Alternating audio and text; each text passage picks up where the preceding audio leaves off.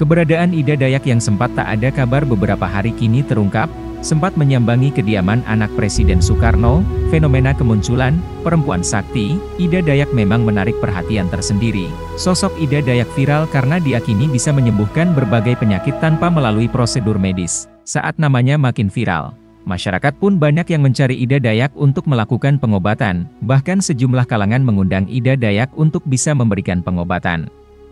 Alternatif pada masyarakat, terakhir, Ida Dayak diundang ke salah satu acara yang diadakan oleh TNI di Gor Madiviv 1 Kartika, Kostrad Cilodong, Depok, pada Senin, 3 April 2023, namun acara yang seharusnya berjalan dua hari itu batal karena membludaknya pasien.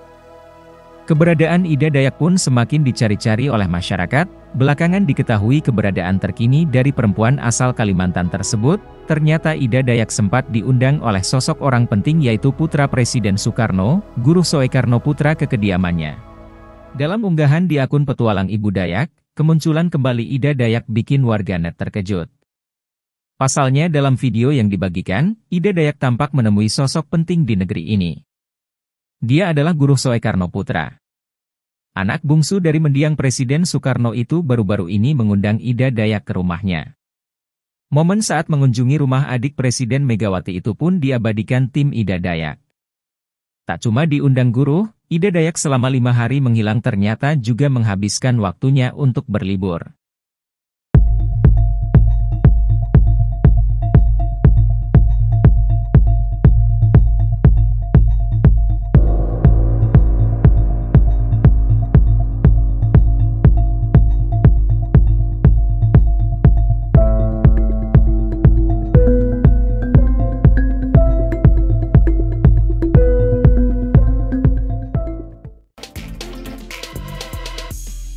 Jangan lupa like, subscribe, dan share ya.